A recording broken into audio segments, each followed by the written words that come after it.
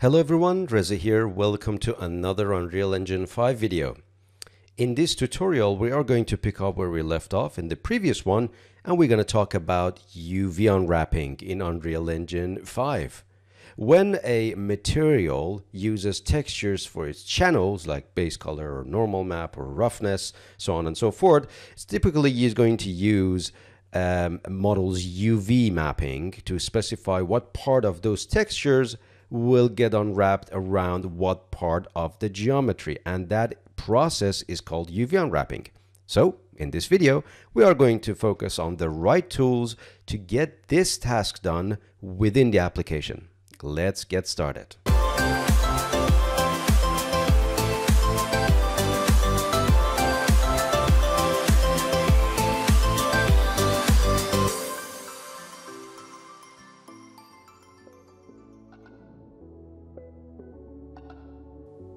Here I am inside Maya. Now I am going to uh, bring Billy, the character that we used for our facial rigging for beginner series, into Unreal Engine 5 and I'm going to do that twice. Once with UVs just to see how we can visualize our UV information inside Unreal Engine 5 and the second time without any UVs to see how we can UV unwrap a character or a 3D object if there is no UVs. Now, a bit of a disclaimer here, still until this version, uh, for best result, I encourage all of you to UV map uh, your objects in a dedicated modeling tool such as Maya, Blender, so on and so forth. Um, but it's not always possible. For example, when you import data from CAD modeling applications into Unreal, uh, you may not have high quality UV maps. So for those type of scenarios, you probably can use the software. Still very useful to understand the tools that we have inside Unreal so we can use it when the time is right.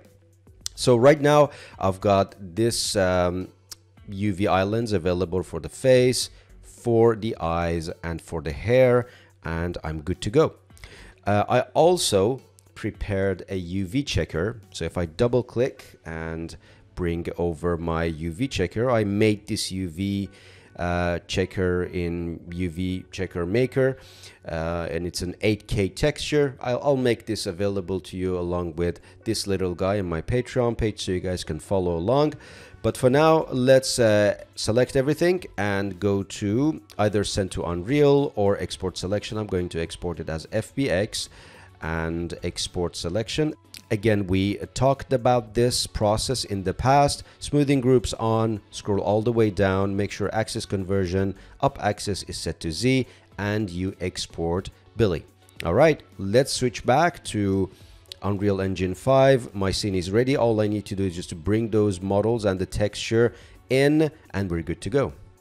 Here I am inside Unreal Engine 5. I've got three rectangle lights and one simple skylight ready to go. Uh, so all I need to do just to bring the Billy with and without UVs. So I've got Billy with no UVs and Billy uh, with UVs. I'm going to select those, bring those in.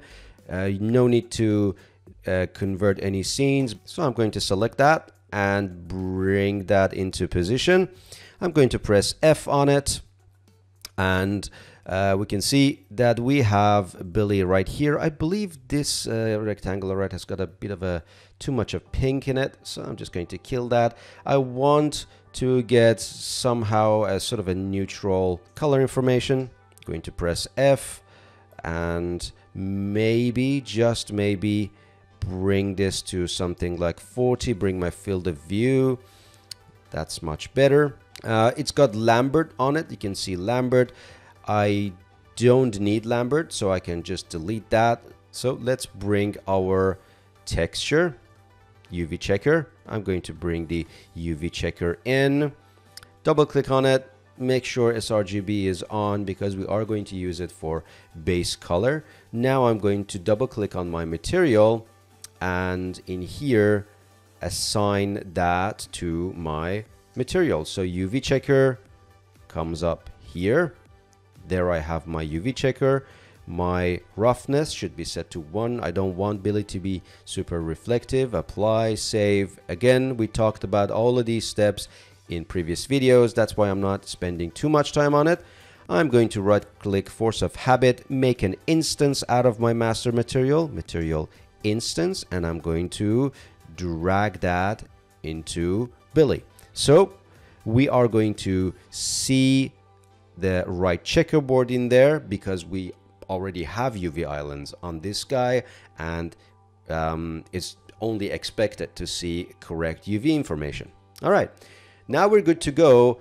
The only thing I need to do is to load the plugin or make sure that the plugin is loaded so we have access to the right tools. Last step of our preparation. I'm going to go to plugin. I need two plugins for this. One is UV editor make sure that it's on once it's on then you restart the engine if you already have this on then you have nothing to worry about you may have noticed that at least for this version it's set to experimental so we should expect to see some glitches also if I type in modeling make sure that you have modeling tools editor also enabled because UV editing tool is part of this modeling editor tool set. So you have to have both of these plugins turned on.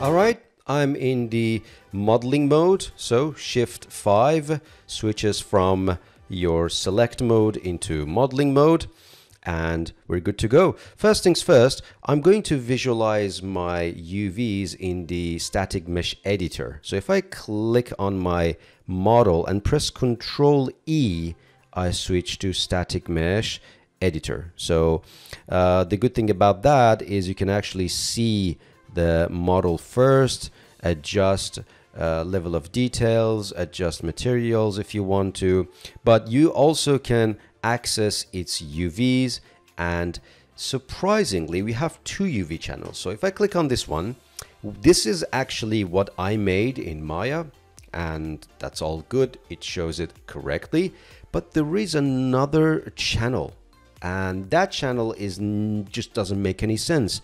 I'm not really familiar with this. Now, sometimes you run into this issue. It's really not an issue. Basically, what you see in the second channel is not the UV information for your textures, it's actually your UV information for your lights. So what I see in this UV channel is the information that's been stored for my light maps. Now, in case if you don't know what a light map is, is a special kind of texture that stores pre-comp lighting information for all the meshes that you have in the scene. So if your light, if I just come here and select the light, if your light is set to static or stationary, then I have no choice but to go in here and build lights. And as soon as you build light, mm, Unreal Engine uses this information through the Lightmass tool to save all the indirect lighting information into light map textures. So basically what I'm trying to say is don't touch that. What we use is channel 0 and remember that channel. All right, so that's how we see our uh, UV information in Unreal Engine. There's another way of seeing actually the information in Unreal Engine and that is through modeling uh, toolset and going into UV's layout. If I click on layout, you can see that my UV information is actually displaying right next to the character. Now, the funny thing is, this is not what I made. Uh, the UV islands are the same, but the order and position of them have changed as soon as I clicked on layout. Simply because layout by default is going to reposition and rearrange my UV islands. If you want to see the original one, the one that I actually made, you go to UV layout, layout type and set that to transform. That is what I made in Maya. Now, you may say, well, what's the point of the other two? Repack is going to keep your UV islands or UV shells, is just going to reposition it for better real estate. So you get a much better use of space sometimes. And the other one is stack, which Unreal tries its best to stack all the UV islands on top of each other as much as it can.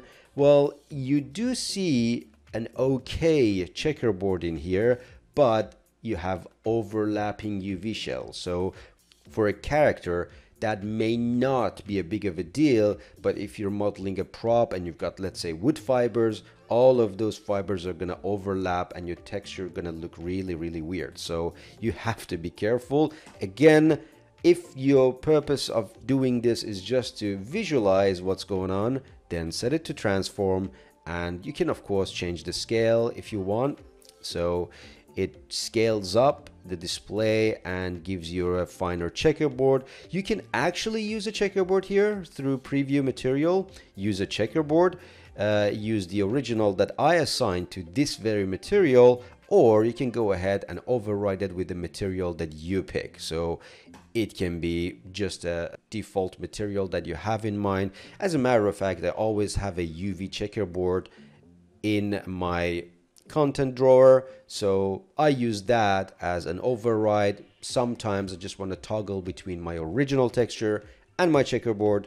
In that case, override would be a good example. For now, the whole idea is to focus on the UVs. So my original material is actually my UV checkerboard.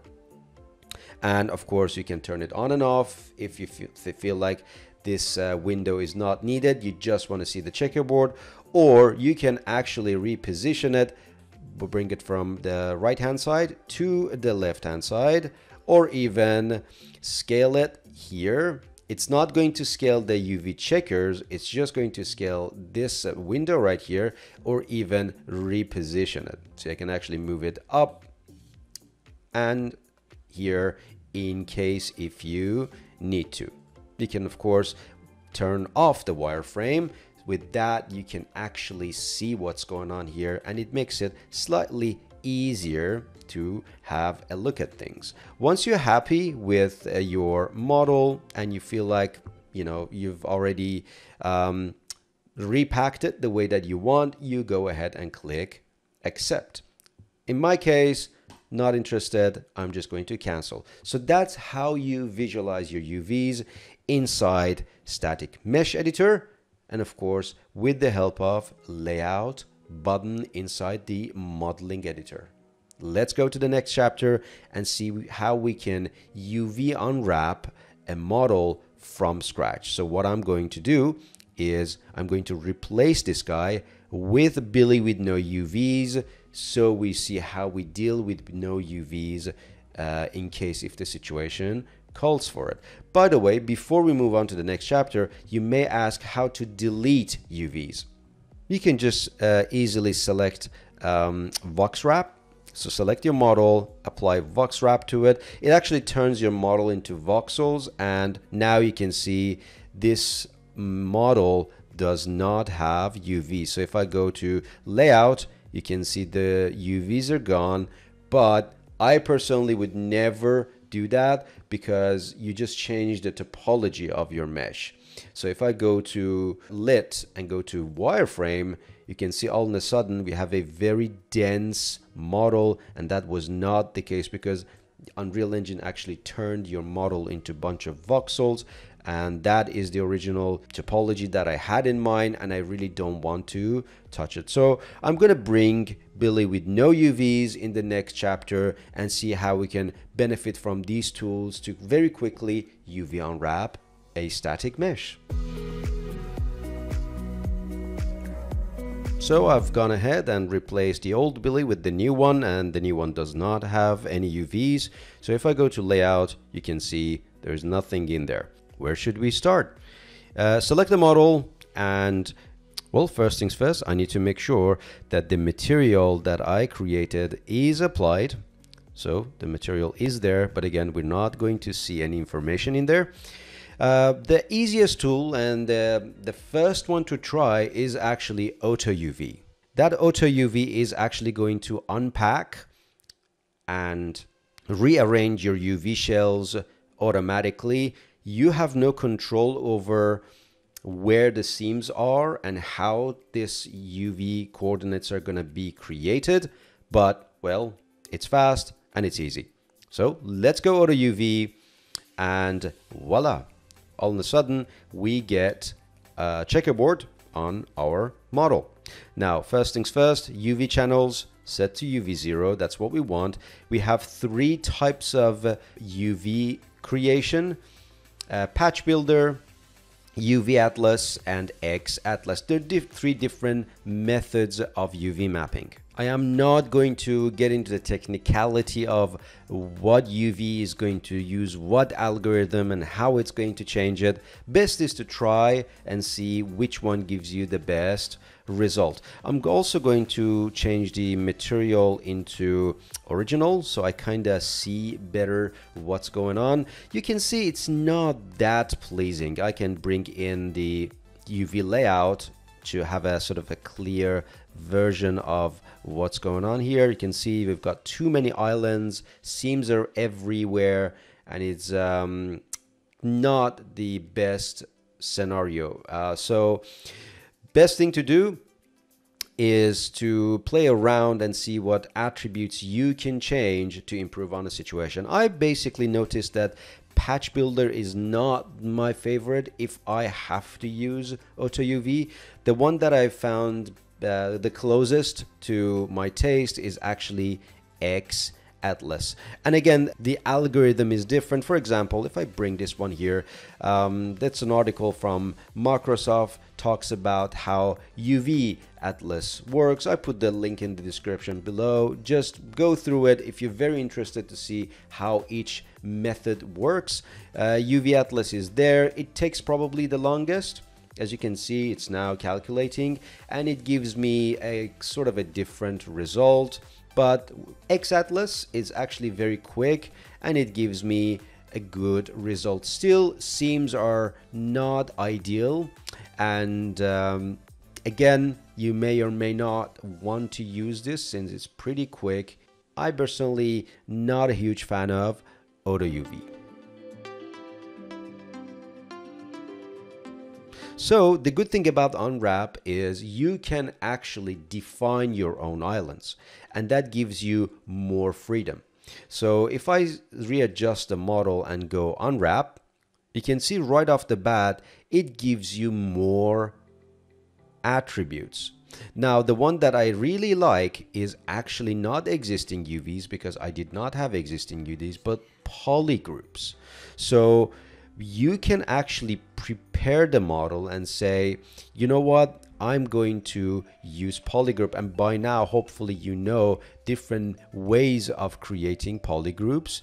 Um, so one way is through tri select, where you can actually select the model and create polygroups. Let's say I'm just going to draw and say, you know what, that is one area that I want to have as a UV island and uh, holding down shift to delete the areas that I don't want. And I'm gonna say, I want this to be a polygroup. So you go and use that as a polygroup. And then you can say, you know what? I want the ears to be a separate polygroup. So I'm gonna go in here and select the ear. And again, yeah, I can zoom in and spend all the time in the world to be as clean as possible.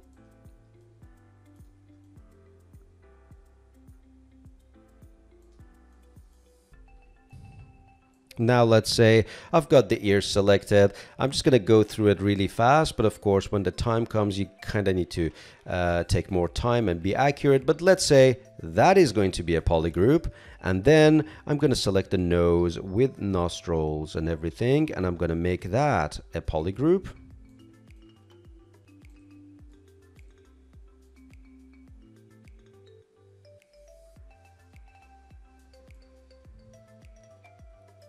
And I'm going to go accept. With that, I'm going to go and click on unwrap. Now, it's still a bit stretched, obviously, because I did not um, put any seams on the face. It's just the nose and uh, neck and two ears. But if I go to layout, you can see it actually listened to what I suggested. So I have two ears, and if I zoom in, you can see I've got uh, B9 here. And if I go in here, you can see B9 is there. So I've got the ears, I've got the neck ready to go, and I've got the face, which is still pretty terrible, but you can actually work on it and give the front face a polygroup and the scalp back of the head a separate polygroup and really bring it together. So the fact that you can actually test and try your own islands, UV islands, will give you a great result. Now, just one quick thing about this window, since it gives you way more options to work with. For the unwrap type, I tend to use conformal because it's a little bit expensive, but it reduces the stretching, whereas ExpMap is very fast, but sometimes it fails to deliver the required result. But still, anything you choose, it still goes through the UV islands that you picked through this UV unwrap tool, which um, gives me the, the, the most amount of flexibility, if I may, to spend the time, convert certain points or certain faces into certain poly groups and with that, you can get the job done. In hard surface modeling, I found this very, very useful, especially you don't need to deal with um, hundreds and hundreds of polygon on an organic model with hard surface. Let's say if it's a plank of wood, um, all you need to do is just to select the top face and surrounding faces, make them a polygroup, back face a polygroup, job done. Now let's go to the next one, project. Now the next three tools may work together. So the first one, project, is something that may sound familiar to majority of you. If you've worked with application packages like Maya, we have projections, UV projections in Maya, and that pretty much does the same thing. So it creates a type of a projection plane. If I click on this, we've got the targeted UVs, and then we have a plane, which from that plane, you get a snapshot and that creates the UV shells. Now you may say, wow, that is pretty neat, very clean. Uh, there's actually nothing wrong with that. And that is true.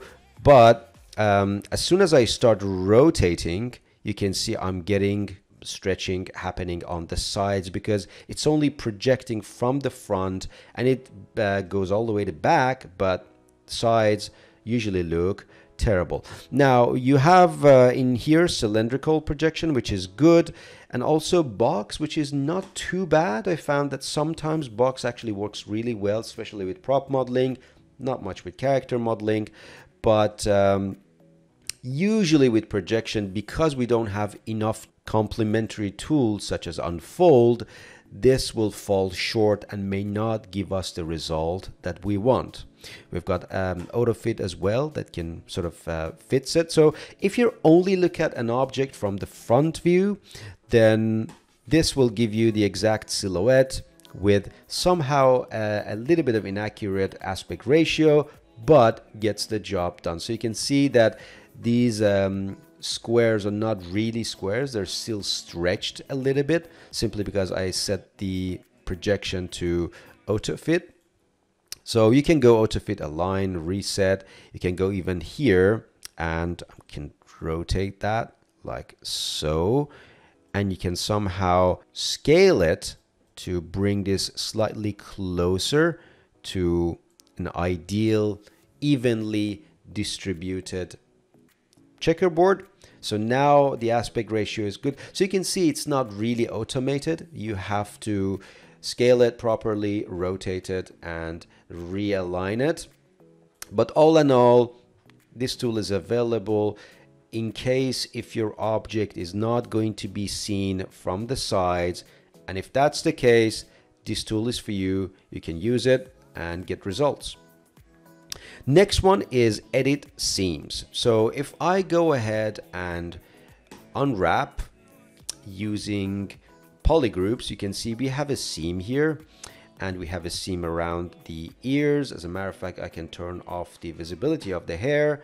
We can see we have seams around the ears. We can actually edit and add seams. So as soon as you go seam edit, uh, you can actually see the seams. Now I can go in here and add a seam like that.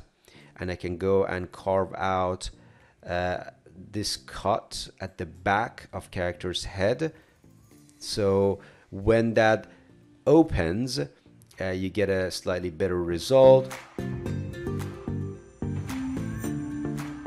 Last tool is Xform UV and that is responsible for transforming UV information in your UV space. So if I go to layout, Xform UVs, it looks at each island and it says if you wish to move or reposition your UV island, you sure can. For example, with the nose, uh, I can see M12. I can actually select that and reposition that. So I'm going to go into M12 and if I can move that to let's say A12. Now you may say Reza why it's that important. Sometimes you actually want to line up patterns you have patterns which you would like to line up. So if I go in here into layout, um, all of a sudden you can see my UV island for the nose actually moved. I can do that again so you can see the position of this little guy will change if I go in here and select this UV island and this time I bring it further if I go to layout, you can see it's moving down and basically we're losing control of this. Uh, so double-edged sword, sometimes it's good if you have a sort of a repetitive pattern. It's a really good idea to use this tool to line things up. But at the same time, you're going to be, you need to be very careful not to overdo because then you may run into some problems. For example, now I moved it up and it's overlapping. If I go to show wireframe, you can see now the nose UV island is overlapping with the back of the face UV shell. So these are the things that you can run into. Again, we talked about this. This tool is still work in progress, but I still want you to know about this tool and its capabilities. So in case if you need it, you can just bring these tools to use. All right, that should do the trick for this tutorial. Thank you very much as always for all of your love and support. Stay safe and see you in the next video.